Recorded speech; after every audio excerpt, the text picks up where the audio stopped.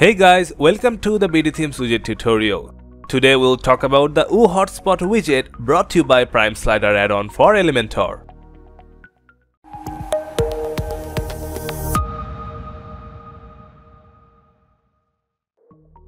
Let's start by dragging the widget from the menu and dropping it inside the editor page.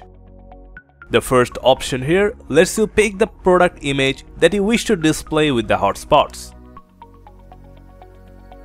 For ease of use, there are 3 slider items available so you can pick a total of 3 images from the slider at start. Let's pick them first. Now opening the first slider item box and here you can configure the hotspots one by one. By default, you'll find 3 hotspots on the screen. Click on the boxes below the slider images to access the hotspot settings. Here you can position the hotspot using the X position and Y position scroll bars. You can set image, icon or none for the hotspot from the select type option on top. Switching to the product subsection, here you can insert the product name, description, price, button text and link. Within the description field, it's possible to add images with additional text inside.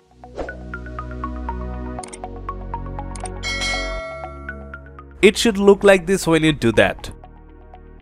Changing the product title quickly. In the exact same way, let's configure the two more products in the first slider. Remember, you can customize the hotspot icon and replace it with something else from the field here.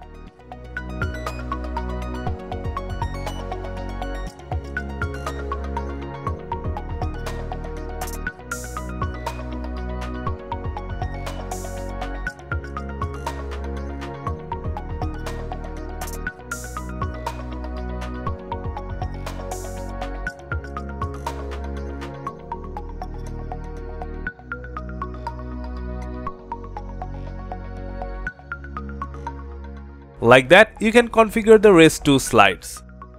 There are more options below that gives you the controls to modify hotspot animations and slider animations. Jumping into the style tab, let's open the hotspot section here and edit the color of the hotspot background. You can increase them in size using the size scroll bar at the bottom. They currently have a pulse animation effect and here you can change the color of the pulse effect.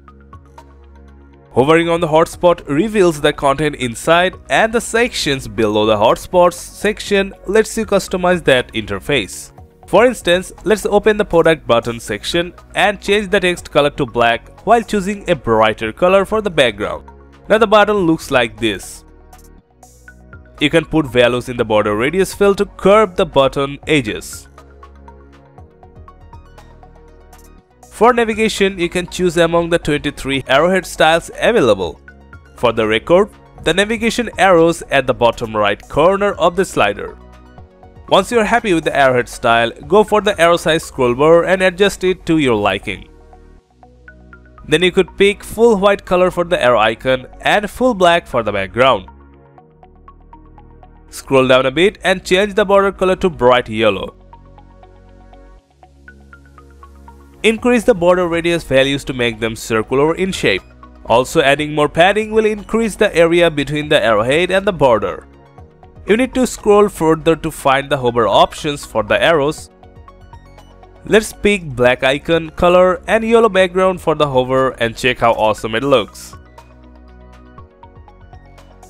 Now we can switch to the pagination subsection and make similar changes to its color profiles. Use the width and height controls to make them bigger. Just one more thing, going back to the hotspot section, we are going to add a border around them with a thin border width and give it the same yellow color. Now that's how you can create a decent slideshow using the Woo Hotspot widget and impress your online customers.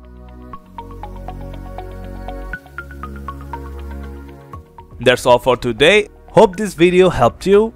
Please like, share and subscribe to this channel to get updates on new tutorial videos. Stay safe and see you next time.